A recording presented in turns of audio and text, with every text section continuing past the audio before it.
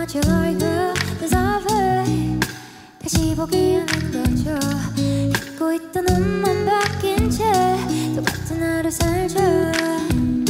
어지럽혀진 방은 말라버린 화분은 언제부터였던 걸까요 하고 싶었던